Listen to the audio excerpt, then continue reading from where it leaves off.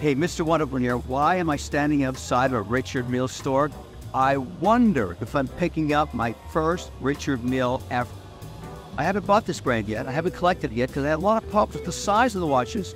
But maybe they've got something for me in there that solves this problem and gets me on the RM trade. Watch this.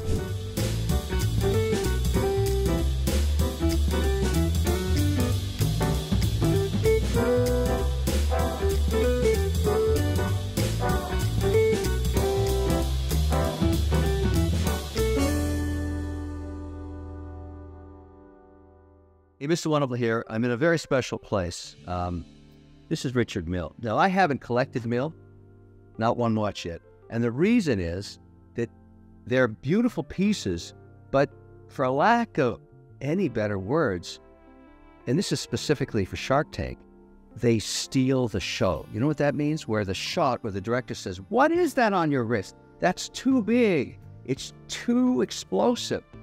Bring it down a notch. And for years, I kept showing them ideas because I wanted to add Mille to the collection, as I like to call it, until you and I met, right? And while I was in Japan a few months ago, um, a friend of mine showed me a Mille that was made out of titanium, thin and subtle and beautiful. Just, and I immediately took a picture on his wrist, sent it to wardrobe, and said, "Hey, would this work on Shark Tank?" And I said, "We love it." Get one of those. And today, am I getting one of these? Yes, you're getting one of those. Let's start with looking at um, a traditional Mille, something that they wouldn't let me wear. Okay, so first of all, we start with what the brand is. Yeah. So Okay. Richard Mille is a relatively new brand compared to the old horological industry. That's true. Horological industry starts back in the 1600s. Mr. Mille here, Yeah. he founded the brand in 1999. Right. First watch came out was the in 2001 was the RM001, Monster. which by then, by those standards, it was pretty. It was it's pretty big, pretty thick. Yep. but also the technology behind the watch was very different back then. It was all made in titanium. I remember when it came on the scene, a lot of people were talking about it. It had a Franck Muller vibe to it, sort of a curve. A lot of people said that.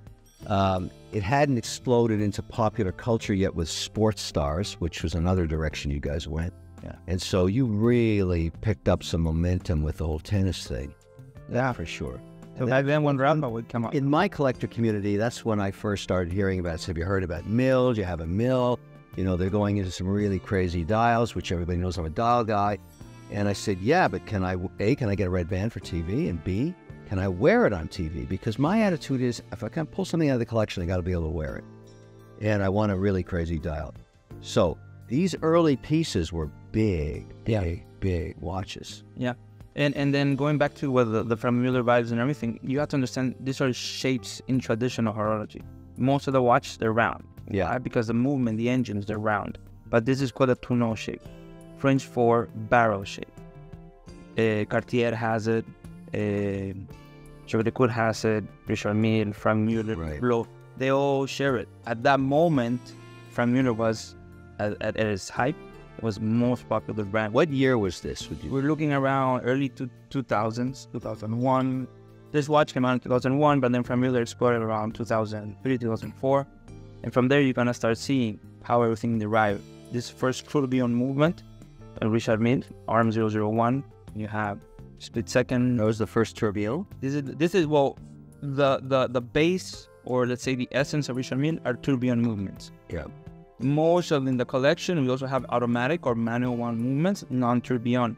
But the base, like what defines Richard Mille, are tourbillon movements. I just want to make a point here. People ask me all the time, why do you need a retail store anymore for the watch industry? What we're doing right now tells you why. This is actually the client's den, if you want to call it that.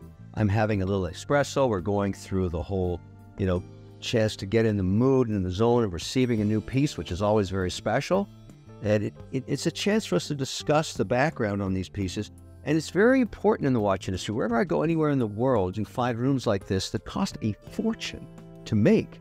Even though it's very hard to get these pieces, the experience makes it worth it. Now, if I was just going to get this in a FedEx envelope, that would suck. I would rather go through this experience. I don't want to deliver it delivered to my house in a box. I want to live and inhale the experience of that watch. and really enjoy receiving it. That's exactly what we're doing now. And I'll try my best. Yeah. So Okay. as time goes by, more watches are designed. This is the RM 005, first Yep. automatic one. Right. Remember that? Yeah, and this one actually was special. It was our, one of the first uh, ambassadors, Felipe Massa. It's when you start introducing some pretty brash colors into the dial. That was when it really started to get interesting. And that was the buzz started to increase. Hip hop culture embraced this big time. I mean, I saw it in a lot of stars' hands, and yet still for me, too big, couldn't wear it. You know, I got- I got a tough crowd in the television world that just don't want when you you're holding up your arm to steal the show. Yeah, we've been at it for years until trying to find the perfect one. No, and you're right. You've done it. You've done it. That's great. Look, some other emblematic. These are square, which a lot of people don't know. And uh, Yeah, the Richard Kind of a Cartier vibe in that. Yeah, exactly. Yeah. So again, those are shapes that already existed in the watch industry. Yeah. Very important watch, RM017, tourbillon square. And then from there, you're gonna start jumping. Oh, I remember some of these really Yeah. interesting dials. The crazy stuff started showing up. This is very important watch alternative. These have become very collectible.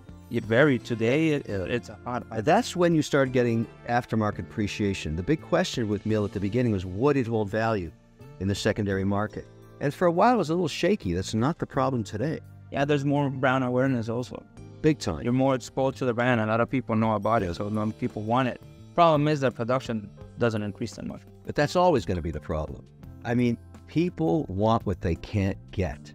That is the nature of the watch industry. It's the weirdest dynamic ever.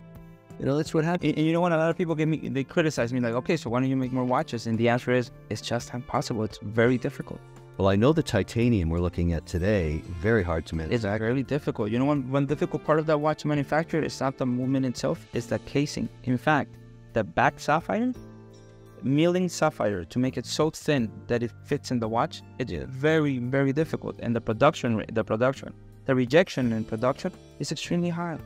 So maybe a number 20 watches are planned to be made, maybe four or five come out. Yeah, I get it. I get it. That's difficult. That's it's been a problem for a lot of makers. FP Journe had that problem with a lot of his early dials. This is where we start getting some very interesting complications on these pieces. yeah, now you start seeing tourbillon. So, an example, this is the RM021. Yeah. came out in titanium first. This, the base plate, is designed from uh, inspiration from aerodynamics. And Yeah, this- in airplane. This watch appreciated almost 30% right out of the gate. Have about Yeah. you don't find them anymore. Actually, and we just unveiled a new one, an, a new edition of 22001. I'll show it to you. Came out in a, a combination black carbon, white carbon, and titanium. Yeah. So as you see, these are now we go into the what the 2701, Yeah. the 027, 2701, which are the Rafa. That's when Rafa came part. It came part of their I consider this when you, you actually crescendoed, when that, that deal happened, which was really a deal on your behalf, and the whole idea that it could take the tremendous stress that tennis put a watch under and it would still hold time and the caliber would remain intact, that was such a hell of a story. And I got, I got to hand it to you. There's That- many stories. There's an, an engineer story that they gave the watch to Rob. Okay, here's your new watch. Go test it. No problem. And he goes, plays, plays with it. And Then he comes back. Here's your watch. What happened? I don't know. I was going out moving and the watch fell. Well, yeah, no problem. Put it back together. Here, try it again. And they did that. They did that. They did that until the watch So the. G forces of a Rafa slam must have been incredible. And that's the design behind the watch. Well, I think I think that's absolutely brilliant to do it that way. And then once the word got out that he could play tennis with it on, although I think he put it on his left wrist in, tournament. When he plays, yeah. Yeah, yeah. And also an- another uh, another thing is that there are not many watches in the watch industry designed for this. You're gonna see other not not naming names, but you're gonna see other players that go for the other big brands. They play with the watches, they play without the watches, and then when the picture comes up, they put the watch. up. Right. This guy, you know, he played. wears it during the whole thing. It's fantastic. So as we go progress, you know, also we got round. This is a very important watch also in the collection, RM028. One Yeah, it's a little unusual. People that want to buy their first or second mill want the mill look. Yeah. You know, the, the round is. Look at the define. That's that's when you see a watch, you say, okay, that's a Richard Mille. Yeah. But people are not so so. They do not recognize this piece as a Richard Mille. I've seen this piece. yeah. It's not easy. You have to look at it and say, what is that?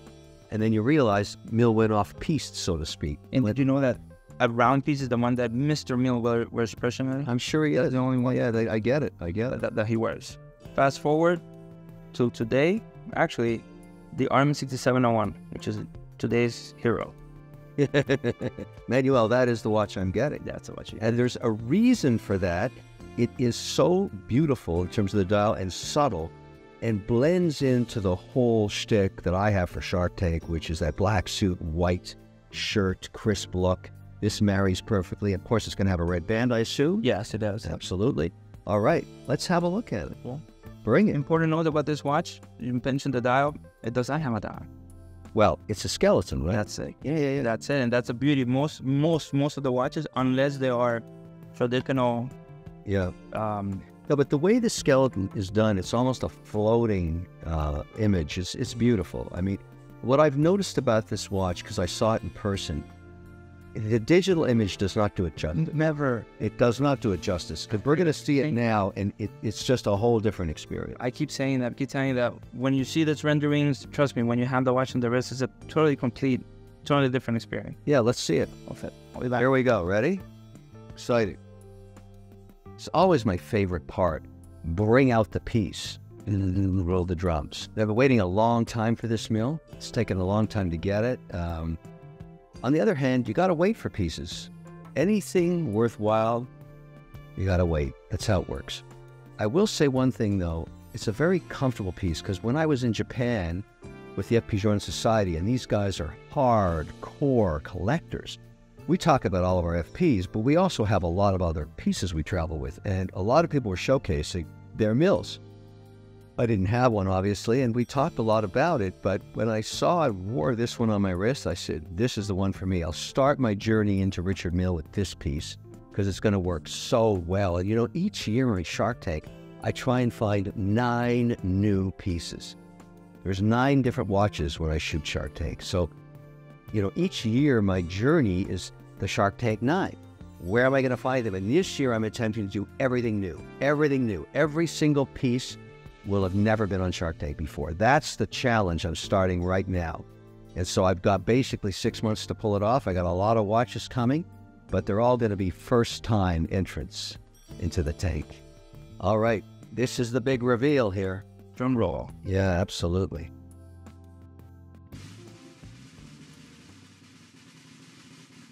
Wow. Isn't that beautiful? That's spectacular. Look at that. Of course, this this this works so well with red. It's crazy. I mean, that's perfect. Also, this titanium is, is beautifully light and crisp. It's it's a different when you see it, and then the take that when you take the watch, it's you don't you don't expect it to be so light. Beautiful flywheel. Yeah. Very, very interesting design on the flywheel. See that? Amazing. Remember what I told I mentioned you about the the back sapphire to mill that sapphire?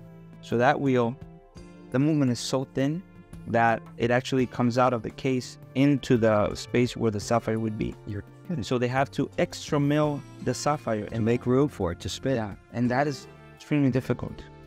Yeah, it's spectacular. Let's uh let me set it for you. Sure. So this comes with a butterfly clasp. Good. There's like a safety clasp. Let's see.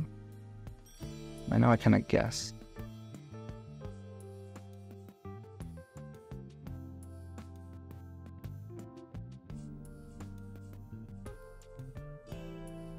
Tell me if it's too tight or not. Yeah, that's perfect. It's good. Good eye. Good eye. And Must be in the business. Wow, that's beautiful. Absolutely stunning. Yeah. I mean, you can see from five yards away, it's a mill. Beautiful. Absolutely spectacular. Oh, that's nice. Thank you very much. my pleasure, boss. And you got it right on time. You said you'd get it in December. You got it. I try, meaning I try to keep uh, expectations, you know, yeah, realistic. Yeah. Well, I'm going to wear it. That's absolutely gorgeous. Okay, so setting the date and time. So the watch, besides being full titanium, the crown, if you notice the crown, it has a function selector. As you open, as you turn around the, this is a very nice. Wow, that detail's incredible. Yeah. Wow. WDH. WDH stands for W winding, D date, and H hours. So as we manipulate the crown, you open and close the crown, it would shift into gears. Ray's numerals are beautiful. Yeah, it's special. It's true. Really interesting. Fantastic. There's a power reserve here. No, it doesn't have. That's the that's the little hand that indicates the the gear. Oh, no crown kidding. is, Yeah. So when you move the crown, if you notice, it will it will jump into gear. I see. Is that a screw down crown? No, Okay. you open it. I This see. I see. So right now we're at hands. Yeah. That's interesting. Yeah. That that take 12, 17. Oh. Okay. Perfect. That's fantastic. Well, thank you very much. My pleasure. That's this great. always sticks first. This side first. Up, and then. The... And when with time, as you close it, you you learn that too. Beautiful. I didn't even make me too tight, but you tell me. No, it's fine. Thanks a lot. Oh, that's my pleasure. Oh, Well, that's it.